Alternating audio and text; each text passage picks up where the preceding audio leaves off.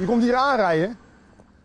Dan moet je van links en rechts kijken of er een trein aankomt. En dan moet je doorrijden. Ik vond uh, om de vijf minuten heb je een trein hier. Dus in die zin heb je niet zo heel veel tijd. Boer Willem-Jan van Graven in Lisse gebruikt deze onbeveiligde overweg zo'n 12 keer per jaar.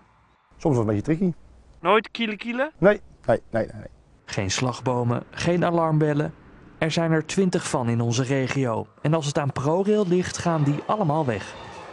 Je ziet elk jaar dat er mensen overlijden doordat ze net even afgeleid zijn. Dat kan een laag zonnetje zijn, dat kan zijn dat ze nog niet genoeg koffie op hebben in de ochtend. En elk jaar zie je ook dat treinen daardoor uh, ook het risico lopen op bijvoorbeeld ontsporing. En ook daar zitten reizigers in. Dus we hebben het echt wel over uh, fikse risico's. De meeste, 14 stuks, zijn overwegen als die van Boer van Graven, alleen te gebruiken door de boer. Verder heb je nog vier met waarschuwingsborden en twee met lampen. En vooral die laatste twee soorten moeten zo snel mogelijk dicht. Ja, juist die overwegen komt het meeste verkeer over. En hoe meer verkeer er over een spoorweg heen komt, ja, hoe groter de kans is dat daar een keer een botsing is. Maar dat afsluiten gaat niet zomaar. Zonder deze overweg in Lisse bijvoorbeeld kunnen een bedrijf, bloementeler en recreanten geen kant op. Een andere toegangsweg of toch slagbomen?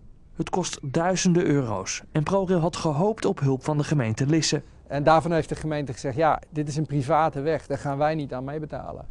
De gemeente Lisse bevestigt dit, maar wil net als de bedrijven waar het hier om gaat niet voor onze camera reageren. Partijen zitten dus op een dood spoor.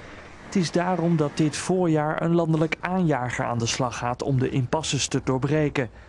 En wie weet moeten dan sneller dan gedacht ook boeren op zoek naar een alternatief.